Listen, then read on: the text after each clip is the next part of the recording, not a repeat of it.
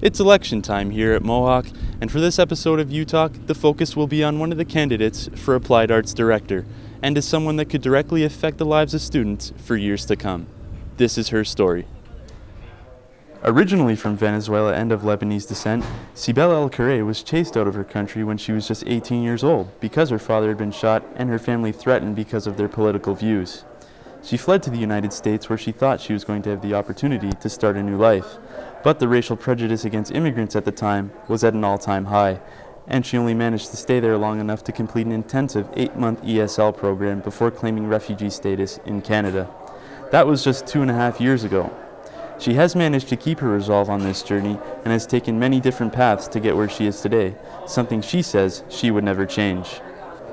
We caught up with Sybel regarding her history and what it took for her to get where she is today. Coming from another country without knowing anyone was really hard for me. But all the things that I went through to get me here where I am right now were necessary for me to succeed. I wouldn't change anything because everything that has happened has made me the person that I am today, and I'm very proud of that.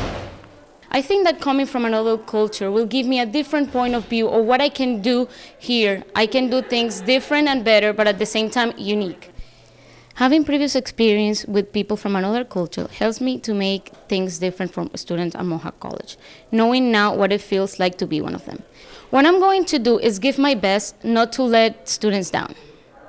Ron Binns took a few moments out of his schedule to have a few words with us on what grabbed his attention about Sybel and why he thought she would make a good applied director of the arts.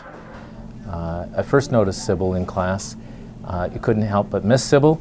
She's, uh, she's outgoing and she always expresses her opinion. She's, she's kind of thoughtful in that regard. She listens well and she contributes to uh, classroom discussions big time. Um, my sense of Sybel is that she's very respectful of faculty and students. I think she'll be a great representative on the MSA uh, as Applied Arts Director.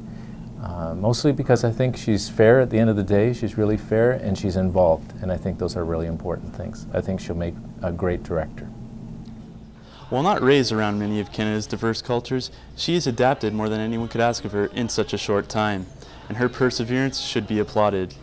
With elections only a month away, only time will tell where this particular path takes her.